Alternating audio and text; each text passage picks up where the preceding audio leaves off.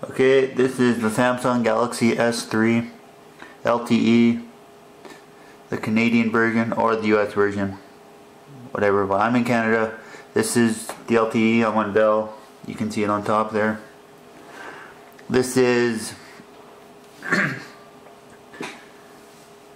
this is the Serenity 1.2 version ROM I'll show you. It's running Jelly Bean 4.11. What's special about this ROM? It's a Galaxy Note 2 port. I'm going to show you the model number i747 or known as 747 for the AT&T version. Same ROMs work. Serenity 1.2, you can see it by Drew Garen's. Here's the developer options, same as you would see on any Samsung. But perf but I'm going to do a quadrant benchmark and I want to show you that I have Force GPU rendering on. So later on, after I show you. You got your S Pen and all the functions with the S Pen that I don't really need because I don't have an S Pen for this phone.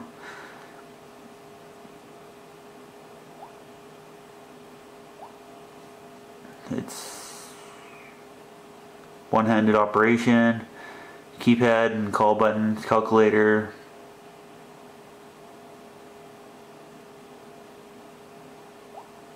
Turn that on, see what happens. We got your security.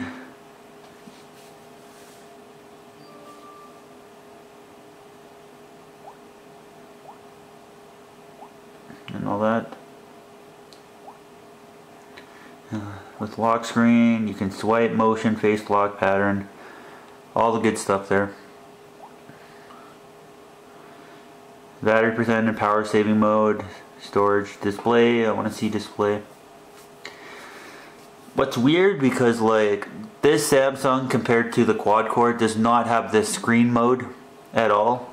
I'm just gonna wipe the screen. But uh yeah, compared to the quad, you can like I had an S2 and the quad core i747. You can change the screen mode. So if you want the screen a little more vibrant or natural or like a theater mode to get the color a little bit differently. And apparently they're they're going to do it on the uh, on the Galaxy Note 2 according to this ROM as a, what I'm what I'm seeing.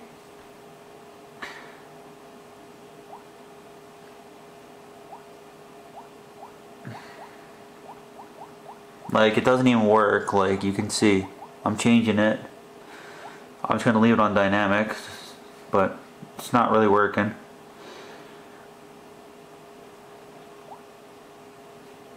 And everything else is the same. I haven't seen a toggle for toggle for LTE on this phone like some ROMs and the official 4 point the ice cream sandwich ROM I haven't seen The official ROM that you get with the phone, you do get an LTE toggle, but this one I don't see it at all. Even if I go to, not a big deal, it will just go like 4, 4G LTE. But if you're a die-hard battery fan, that might, that might not be good for you. I'm just going to show you Jelly Bean 4.11 and you can slide all these out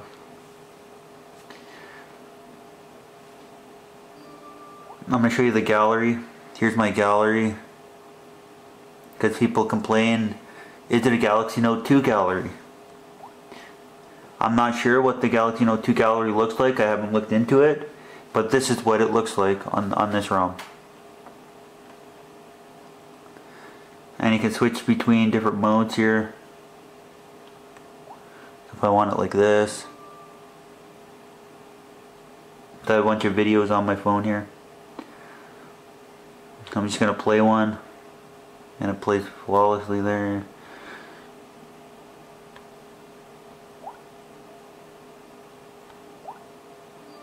And then you choose. I'm just going to choose.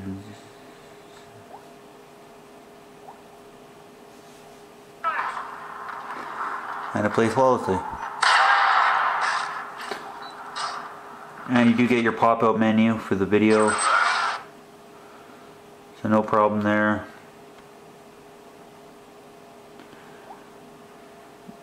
And you, then you can go back and then you can have it like this.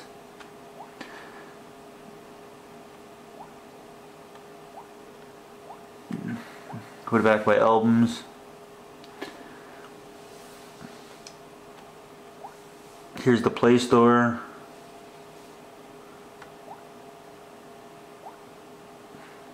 I'm going to show you what Play Store comes with it.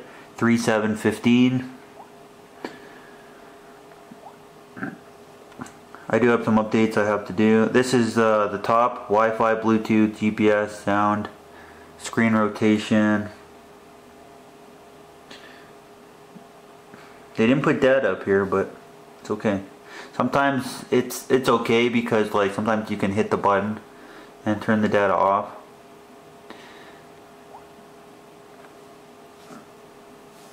Here's the update me. It's like uh, it'll update the ROM. It'll tell you like when the new ROM's gonna come for an update. It came with ROM Manager when I first got it. It auto installed some of my apps from the App Store. That's why you see some differently. Uh, draw something does not work. Note does not work on this ROM. I will just show you. Does not work.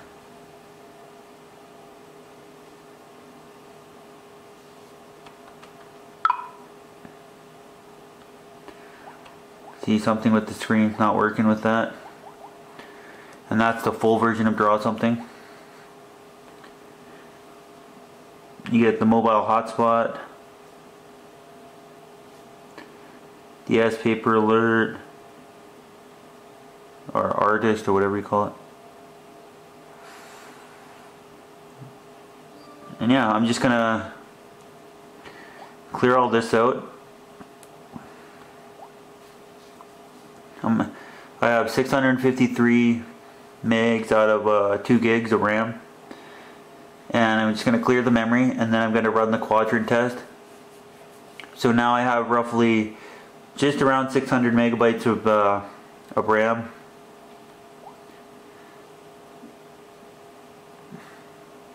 And I'm going to run full benchmark.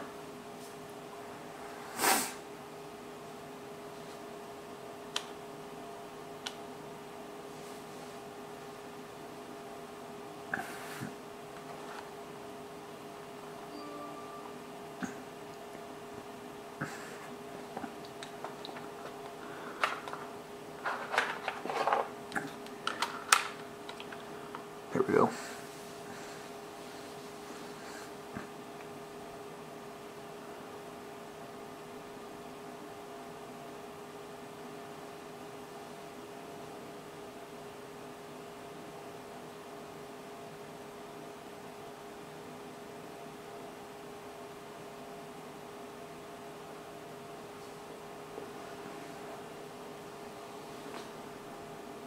we get 35 frames per second.